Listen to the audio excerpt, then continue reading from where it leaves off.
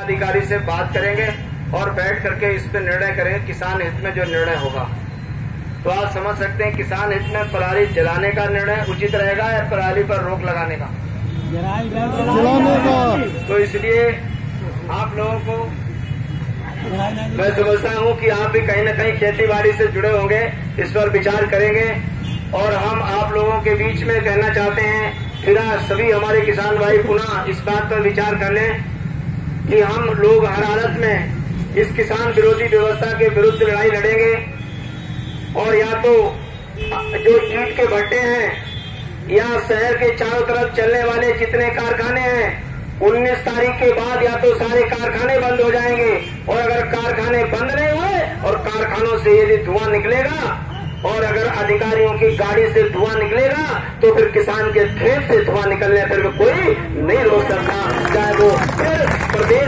सरकार का फरमान हो और चाहे वो केंद्र की सरकार का फरमान हो धुआँ हमारे घर का ही प्रदूषण नहीं करता धुआँ तुम्हारे घर का भी प्रदूषण करता है। यदि तुम अपने घर का धुआँ रोक सकते हो तो मैं भी अपने घर का धुआँ रोक लूँगा। और तुम नहीं रोक सकते तो हम पर तानाशाही फरमान टोकने का कोई अधिकार न शासन को बनता है, न प्रशासन को बनता है।